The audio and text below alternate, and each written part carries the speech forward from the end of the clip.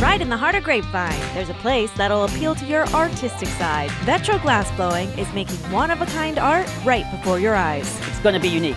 We don't use mold. Looking for something more personal? Vetro will let you get hands on.